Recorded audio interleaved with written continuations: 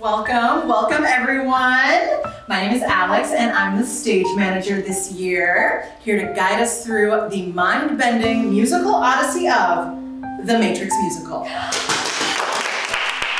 Tony's deciding who can stay and who must go away. I'm not in the running for a lead. Behold, a figure appears. Five,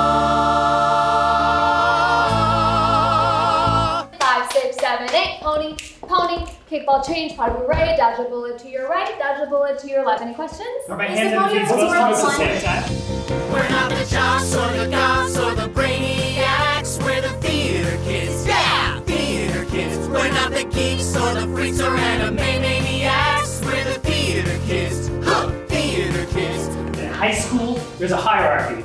And here the leading roles go to the seniors who put their time in. Does that mean I should do this for the rest of my life? Like, how do you know what you're supposed to do?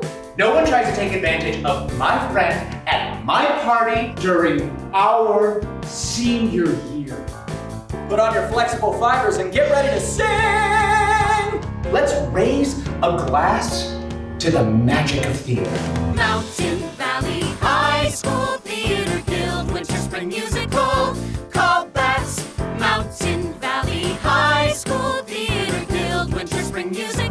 Hey Jean, Tony's growing a bit impatient. Is everyone ready? Ready enough.